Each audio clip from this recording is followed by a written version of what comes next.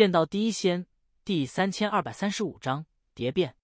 一只蝴蝶，苏毅悄然顿足。那蝴蝶仅仅小二巴掌大小，通体彩色绚烂，轻灵翩跹，振翅飞舞时带起丝丝缕缕的瑰丽光雨。虽然一闪即逝，可依旧在刹那间带给苏毅一种惊艳之感。那蝴蝶的美太过空灵和梦幻，犹如造化自然的杰作，不似世间能有。奇怪，这涅槃命土不对劲啊！先看到一颗狗头，又出现了一只神秘的蝴蝶，这难道是某种预兆？苏毅思忖，以往萧简可从不曾说过，在涅槃命土还有这样稀奇古怪的神异生灵。不对劲！忽的，苏毅察觉到天地间分布的混沌雾霭悄然发生变化，竟以自己为中心，汇聚成一个接天通地的混沌漩涡。同一时间，苏毅的心魂和肉身之间彻底失去了感应，整个心魂之体像被关押在这涅槃命土之中。轰隆！混沌漩涡旋转时产生闷雷般的轰鸣，偶尔有闪电流窜，闪烁不定，忽明忽灭。一股难以言喻的危机感涌上苏毅心头，毫不犹豫，他将心魂力量运转到极致，身放大无量光明。一盏灯如大日般高悬头顶，灯影中化作道剑的星命法相浮现而出。几乎在苏毅刚做完这一切，异变陡生，这接天通地的混沌漩涡猛地剧烈旋转，释放出亿万耀眼的劫光。苏毅眼前一黑，下一刻就感觉像有无数条锁链一层层捆缚在身上，勒得自己的心魂快要崩碎。任凭他如何运转心魂修为。都无法抵抗，反倒像被深深活埋在地下深处，身上像承受着太古神山的镇压，压力越来越重。这是什么鬼东西？啊苏毅感觉自己的心魂就像被彻底蒙蔽，失去了一切感知，陷入一种无尽的黑暗中，连意识都正在渐渐变得浑噩和模糊。完了，蝶变之劫已经上演。极远处地方，那座小土丘下方，黑狗瞪大眼睛。他能清楚看到，极远处的天穹下，混沌雾霭演化成了一只蝴蝶。那蝴蝶无比庞大，双翅展开时，宛若垂天之云，遮蔽天穹。随着蝴蝶双翅拍打，那片区域形成了一个巨大的风暴漩涡。漩涡内尽是触目惊心的浩瀚劫光，这就是蝶变之劫，一种极端神异、可怕的心结。源自涅槃命土的本源力量，其结灵便是一只婴孩巴掌大小的美丽蝴蝶。黑狗清楚记得，当年身为命官的萧简第一次前来时，自己专门提醒过，让他小心，一旦遇到那只看起来不起眼的小蝴蝶，最好第一时间开溜，否则必将大祸临头。可萧简却很头铁，不禁反喜，摩拳擦掌，要见识见识那小蝴蝶的能耐。结果。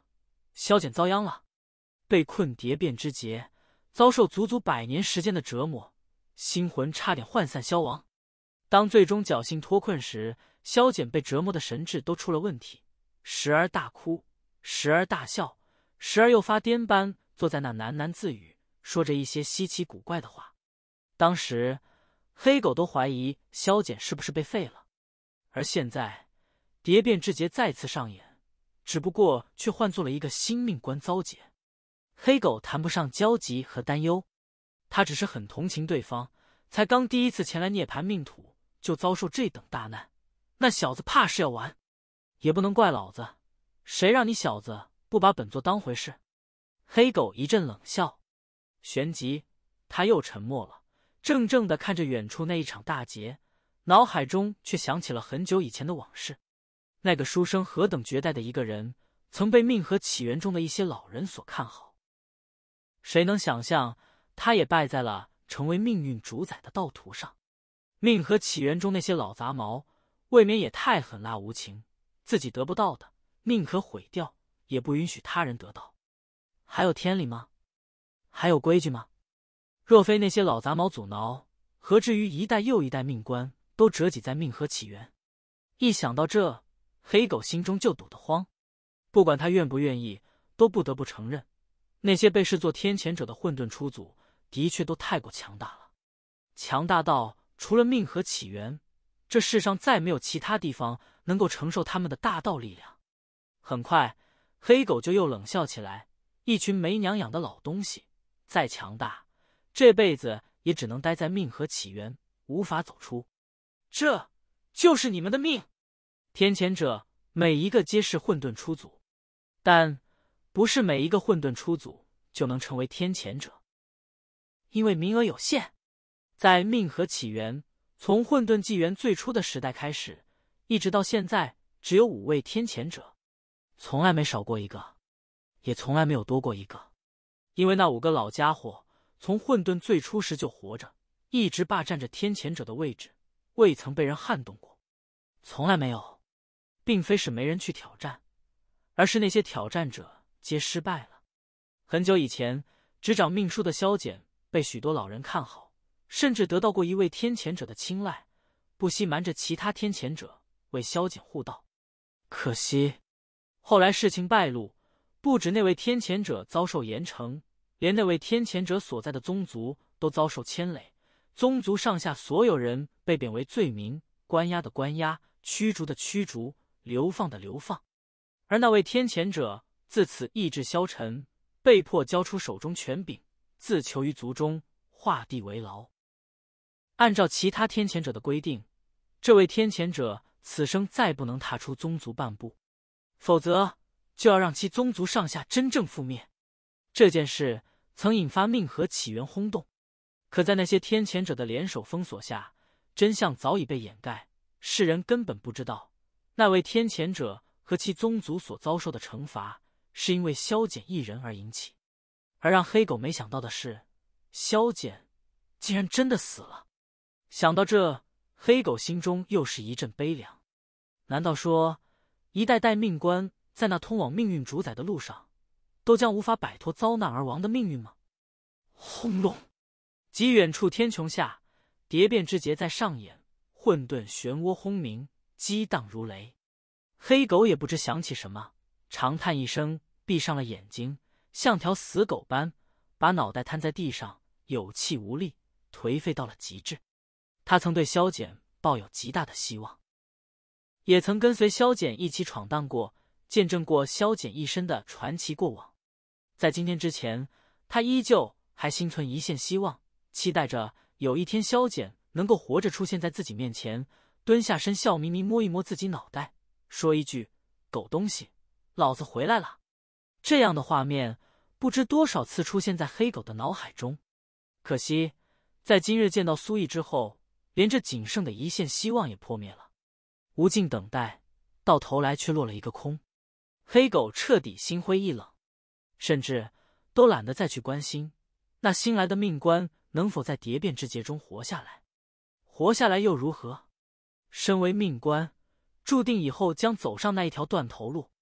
混沌漩涡轰鸣旋转，劫光如潮，以一种神山压顶的态势不断轰击在苏毅身上。苏毅周身都像被无数锁链困住。失去一切感知，意识都快要浑噩。他眼下唯一能做的就是运转灵台感应篇，保持心中一点清明不灭。相比之前，苏毅已经冷静下来，意识到自己正在遭受一场诡异神秘的劫难。渡过去就能活，反之则死。心境命之所属，心魂一旦灭了，肉身也注定将腐朽而亡。涅槃命土中怎会有这样一场诡异大劫？为何又偏偏被我遇到？苏毅想不透，他也懒得多想。当务之急是破局。他开始尝试以灵台感应篇传承施展所掌握的各种心境神通，可每一次都以失败告终。那大劫太恐怖，把他整个心魂禁锢镇压，每一次轰击都带给他心魂极大的冲击和折磨。就像置身刑场上，正在被千刀万剐，那种痛苦足以让其他修道者心境崩坏而亡。但苏毅不曾理会，此前是今生遭受的大劫大难，不知凡几，自有办法摒弃和隔绝这种痛苦。接下来的时间里，苏毅不断尝试，最终发现，当施展出大道命轮的力量时，勉强才能和这一场大劫对抗，但也仅仅只是对抗，只能保持心境不至于彻底沦陷。想要破局，还是不行。不过苏毅倒也并非没有收获，他发现，在对抗大劫时，心境力量能够汲取到一丝丝极为微弱的奇异生机，哪怕心魂被大劫轰击出许多伤痕，在这种奇异生机的修复下，短时间内游子可以撑下来。不至于被这一场大劫灭了。难道说破掉此劫的唯一办法就是硬撑到底，直至这一场大劫自行消散？苏毅心中有些沉重。可这要撑到多久？万一那大劫一直上演，难道自己一直要承受这种大劫轰击的折磨？若时间久了，自己彻底撑不住怎么办？不行，不能被动等待希望出现，必须得找出一个办法来。苏毅从不是坐以待毙的性格，眼下的困局反倒激发起他那沉寂已久的斗志。接下来，他继续尝试，不断施展各种和心境有关的手段，诸如心境神通、心境大道等等。可每一次都是失败，失败，不断的失败。换做他人，早就放弃。可苏毅没有，他心境沉静，不断推演各种办法，也不知失败了多少次。就在苏毅将一切核心境手段都快用尽，以一种不抱希望的念头尝试着运转一门和心境无关的大道时，异变发生了。